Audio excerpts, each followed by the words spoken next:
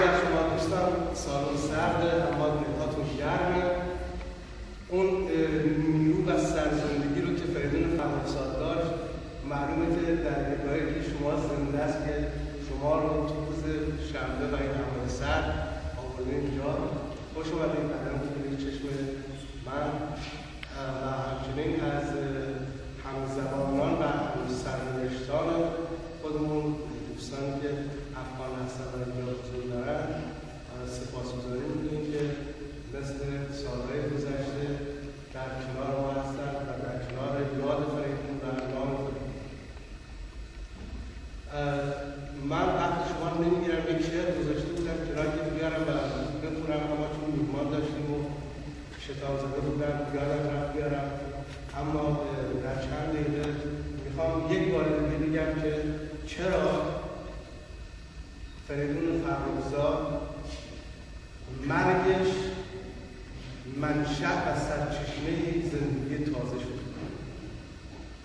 بسیارانی میمیرن. بسیارانی آوازخان بودن شاعر بودن اما کمشمارانی از این افراد هستند که یک نیروی معنوی برای یک ملت تبدیل میشه. چرا فریدون فرخزاد درست در این نقطه قرار گرفت؟ که اگر در ایران چنین یادبودی براش بگیرن در میدان آزادی من برای باورم که سه چهار میلیون ایرانی در تهران جمع میشن در اون مراسم شرکت کنند در یک محیط کوچک با جمعیت کم نسبتی که میاد به استقبال می‌کنه رو شما می‌بینید. علتش اینه. به نظر من فریدون فرخزاد یک دید تاریخی یک شم تاریخی ویژه‌ای داشت و فهمید که بعد از اینکه تازیان اومدن. نظام سیاسی ایران رو در هم شکستن.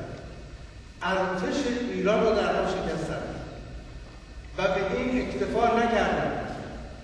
قبایل عرب اومدن ایران رو بین خودشون تقسیم کردن. به ایرانی ها گفتن موالی. عجم گرد لا زنان ایرانی رو به بردگی بردن مردان ایرانی رو کشتن بچه های ایرانی رو به بردگی بردن. و بعد تدریجا شروع کردن زبان دیگری رو به زبان عربی. دینی رو که اصلا ما یک مردم دیگری و فرهنگی که فرهنگ بیابانی بود. این رو تدریجا با زور شلاق توطعه جزیه و مجازات در ایران جاری کرد بخش های مردم ایران مقاومت کردند پایداری کردند از تا بابک خرمدین و از او به بعد پیش از اینها در برابر اون حجوم فرهنگی و حجوم بیگانه مقاومت کردند این مقاومت ها همراه با تنش های خونالودی بین جامعه ای که نیش اعراب بودن به که در همین شهر بین 60 تا 70 درصد ساکنین این شهر عرب بودن که از عربستان و از بغداد و از لبنان و از بصره اونها آمده بودن و جز قبایلی بودن که ایران رو امروز رو تقسیم کرده جامعه ایران رفته بود زیر نفوذ و سلطه اعراب به ای که اگر در یک قسمتی از شمال شرقی ایران که مردم سه بار مسلمان شدن و بعد اعراب که رفتن سر جاشون اینا دوباره رفتن زرتشتی شدن. و خلیفه این بار بود که در خانه هر ایرانی باید به خط اون ایرانی یک مرد عرب زندگی بکنه اونجا نگهبانی بکنه و مراقب باشه اینا نماز پنج بعدش رو بکنن و در همین پروسه تاریخی دو پاره تقسیم شد. اونهایی که تسلیم شدن رفتن به جناه فرهنگ عرب. اونهایی که ماندن ایرانی ماندن. مثل فردوسی و خیلی های دیگه. زبان ایران دوباره شد. یا محدود شد. با زبانی دیگر. تاریخ ایران قلب ایرانی تو پاره شد.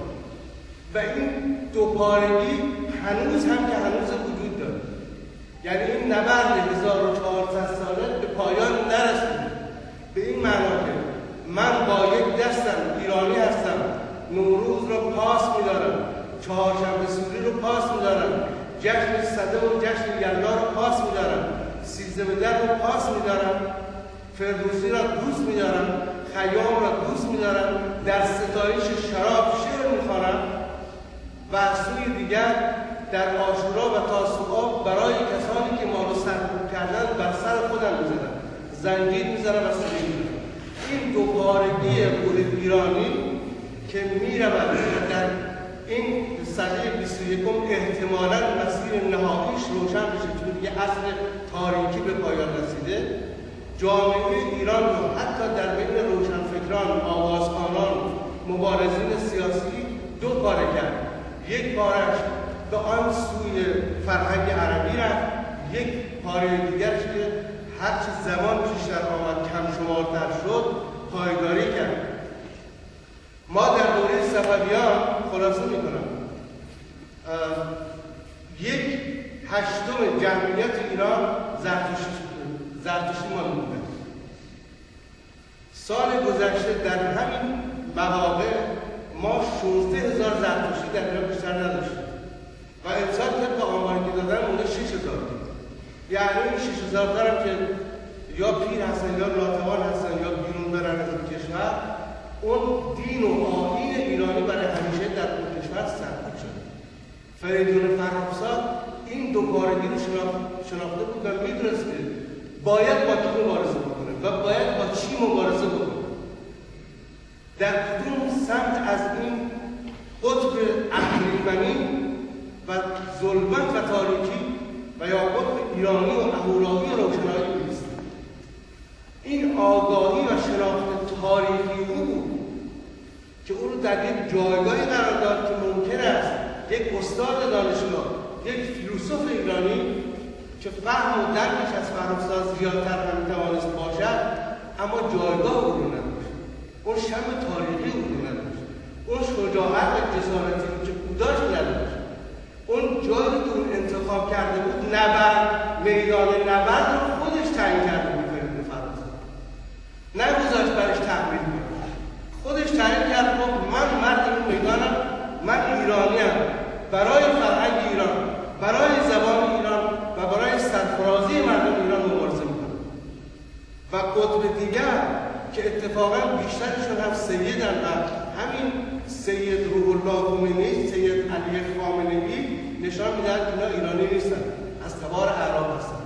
یک بار دیگه اومدن قدرت رو در ایران گرفتن و می‌خوان تمامی آنچه که به هویت شما به زبان شما به نیاکان شما برمیگرده پاک کنن. نوروز رو می‌خوان از شما بگیرن. سیزده به در رو می‌خوان از شما بگیرن چهارشنبه سوری رو می‌خوان بگیرن زبان پارسی رو می‌خوان از شما بگیرن هویت شما رو می‌خوان بگیرن و به جاش هویت عربی آغشته با برخی چیزهای ایرانی. جانشین بکنن و بعد خلاصه اون می‌شود. یک ملتی که در درون خونه یک جور دیگه میاندیشه. در بیرون باید جور دیگری خودش رو جلو بده. و بعد این کشور رو ما آوردن در مسیر قرار دادن که امیدوارم هیچگاه پیش نیاد. جنگی اتفاق بیفته و ما قربانی بمب‌های اتم بشویم و ما قربانی خواستهای یک مش آدمی که اصلا متناسب با جهان امروز نیستن میشن خب این رژیم بسیار هوشمندتر از که ما میاندیشیدیم هوشمندان و تیزهوشان زیادی توشون هست و اتفاقا از ایرانی هایی که از ایرانی هایی که دلشون برای ایران میسوزن اما با این رژیم همکاری می‌کنن هوششون رو تقدیم کردن به دست این رژیم و این رژیم با این هوش دریافت که محمد مختاری خطرناک است فریدون فرخزاد خطرناک است سعیدی سیرجانی خطرناک است شاپور بختیار خطرناک است اینها خطرهایی هستند برای تعبیر برای برق زدن تاریخ فریدون فرخزاد یک نفر بود اما می‌توانست تاریخ رو برق بزنه با نیروی شما